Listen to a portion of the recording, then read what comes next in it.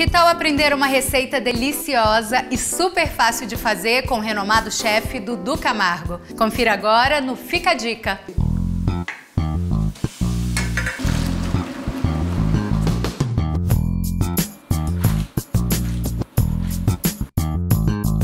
Boa tarde, pessoal, tudo bem? Vim ensinar para vocês aqui hoje um espaguete a cavalo. O que, que, será isso, hein?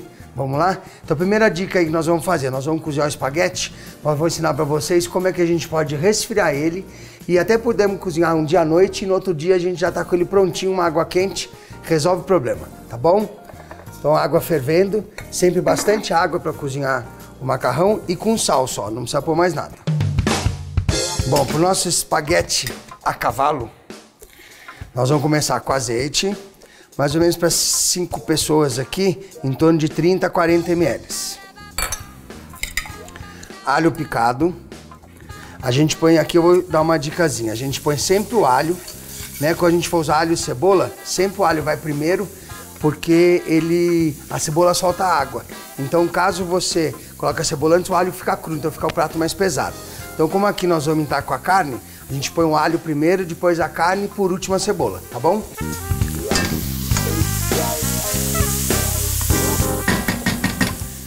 Vamos lá. Por que será vai chamar cavalo? Nossa carne está ralada, hein? É uma carne moída. Aqui é metade a 100, metade de patinho. Nós temos meio quilo, são 100 gramas por pessoa.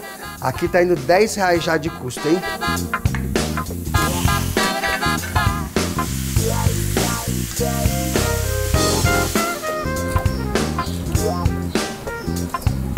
Bom, vamos lá, olha, a carne tá soltinha, né? A gente refogou.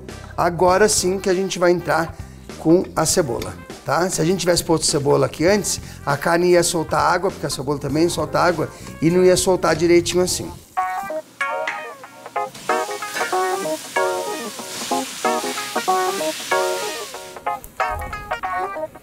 Aqui nós vamos usar as ervas em duas etapas. Eu vou colocar aqui orégano.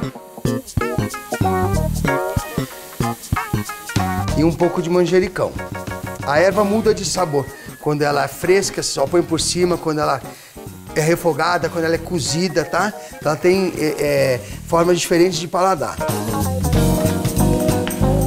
Vocês viram que eu não coloquei sal ainda? Porque o sal desidrata a carne, então eu queria refogar primeiro, agora daqui a pouco eu vou entrar com sal e a gente pôr o molho. Agora nós vamos entrar com molho de tomate. Esse aqui eu não fiz molho caseiro. Eu peguei molho mesmo que a gente compra no supermercado, desses ou nacionais ou importados, que a pessoa quiser. Polpa de tomate não pode ser extrato, que é muito forte. Então tem que ser um molho de tomate.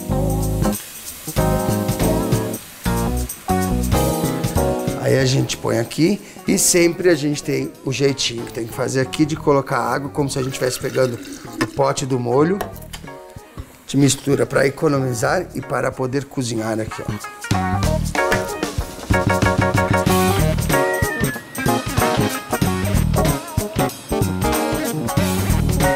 Agora nós vamos pôr sal. Agora a gente vai pôr um pouquinho de cebolinha. E um pouquinho de salsinha. Agora nós vamos deixar ferver aqui por mais ou menos 5 minutos. A massa foi cozida, só na água e sal. Depois a gente resfriou ela, escorreu, resfriou. Nós vamos pôr numa travessa aqui. E qual que é o truque aqui? A gente vai colocar azeite. Eu prefiro colocar azeite, mas pode colocar óleo sem problema nenhum. E aqui o que a gente faz? A gente mistura a massa para ela ficar embisuntada aqui no azeite. Nossa massa que está pré-cozida, vamos supor, desde ontem, soltinha, ela vai ficar do mesmo jeito. O que a gente vai fazer?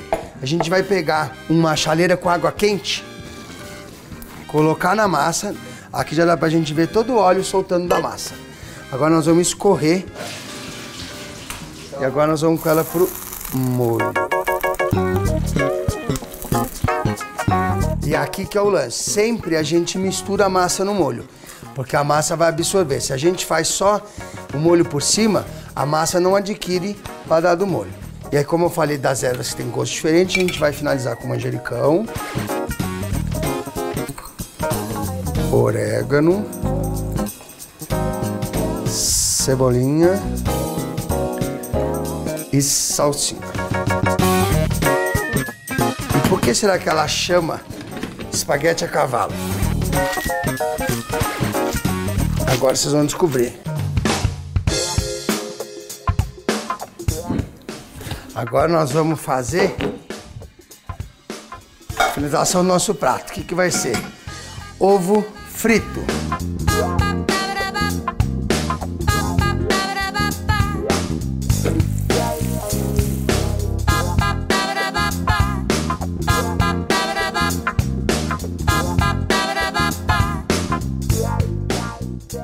Vamos lá, então vamos montar.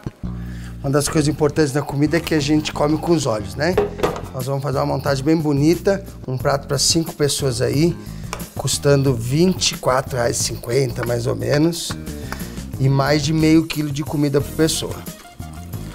Aqui é o nosso espaguete à bolonhesa. Aí depois a gente vem com o nosso ovo frito, por isso que ele se chama espaguete bolonhesa a cavalo. Aí aqui o lance a gente faz isso aqui, ó. Rasga ele aqui, ó. E aí a gema, ela vai cozinhar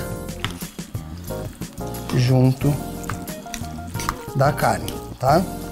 Agora nós vamos fazer uma decoraçãozinha.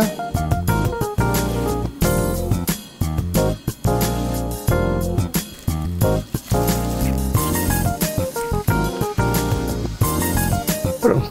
Escuta o cheiro aí, hein?